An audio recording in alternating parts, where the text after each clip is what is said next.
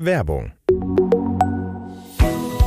Regionale Sportpodcasts, True Crime und Reportagen. Tauch ein in unsere Audiowelt. Schau einfach vorbei unter noz.de/slash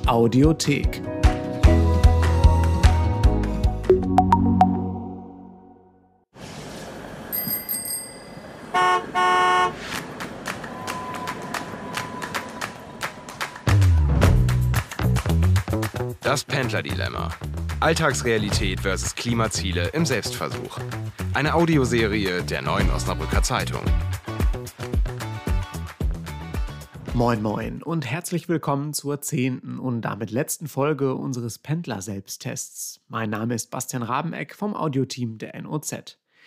In den vergangenen Wochen haben meine Kolleginnen und Kollegen unter dem Titel Das Pendlerdilemma unterschiedlichste Verkehrsmittel und Routen für ihren Arbeitsweg ausprobiert. Die Ergebnisse haben Sie hier auf der Audiospur, aber auch ausführlich online auf noz.de oder in der gedruckten Zeitung mit euch geteilt. Bevor ich meinen Kollegen Frank Wiebrock mit seinem Pendlerexperiment losradeln lasse, noch der Hinweis, wir haben so viele Kommentare und Mails von euch erhalten. Wir werden auf jeden Fall in eine zweite Staffel gehen. Und zwar mit euren persönlichen Pendlererfahrungen in der Region Osnabrück. Ab dem 21. Mai gibt es diese neuen Audioreportagen mit euch, liebe Hörerinnen und Hörer.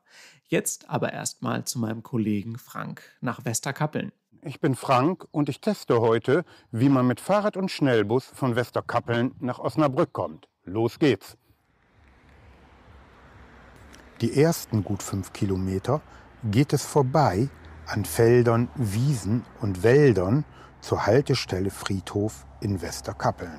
Wenn man in der westfälischen Provinz wie in Westerkappeln wohnt, gehört das Auto irgendwie dazu. Zum Einkaufen, als Elterntaxi und natürlich für den Weg zur Arbeit.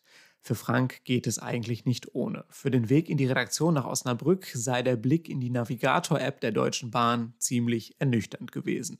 Möchte man den Weg ausschließlich mit dem Bus bewältigen, sind etliche Umstiege vorprogrammiert. Für Frank kam also nur eine Kombination aus Rad und Bus in Frage. In Westerkappeln herrschen allerdings weniger paradiesische Zustände für Radfahrer. Laut Frank rumpelt man entweder über die gepflasterten Bürgersteige oder teilt sich die Straße mit Pkw und Sattelzügen. Trotzdem. Tja, wer früh losfährt, ist auch früh da. Die erste Etappe hat soweit gut geklappt. Jetzt warte ich auf den Schnellbus und hoffe, dass er pünktlich kommt. Und siehe da, da kommt er auch schon. Angekommen in der Stadt wird der Unterschied zwischen den regulären Stadtbussen und dem Schnellbus deutlich. Haltestellen in der Stadt fährt der Schnellbus auf dem Weg ins Zentrum nur an, wenn jemand wirklich aussteigen möchte. Und die meisten Fahrgäste wollen in diesem Fall entweder zum Campus Westerberg, in die Innenstadt oder zur Endstation am Hauptbahnhof.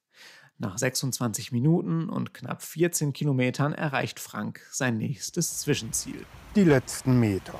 Von der Haltestelle Kamppromenade geht es zu Fuß zur Redaktion.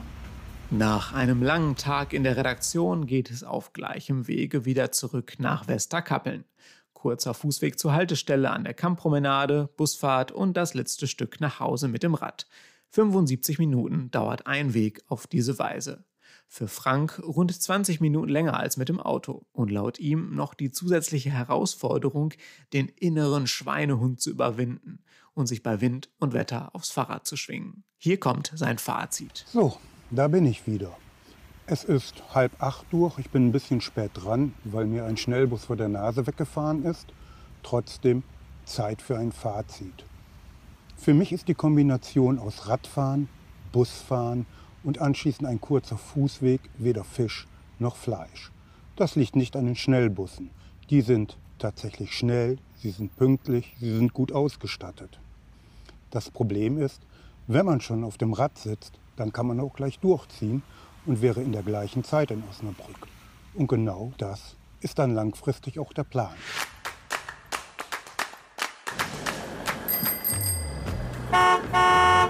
Ausführliche Berichte unserer Redakteure und Redakteurinnen mit vielen hilfreichen Infos findest du natürlich auf noz.de/slash Pendlerdilemma sowie in der gedruckten Zeitung oder auf unseren Social Media Kanälen.